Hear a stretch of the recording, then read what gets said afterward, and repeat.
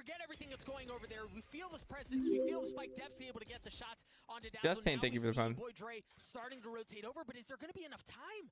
Right, the spike creeping its way forward. Dre might get the Oh, that timing. Connor Dre might get the timing. Oh, he spots Dev. Look at Oh, him. they're one HP. Muir's gonna drop as He knows, he knows. Dre going to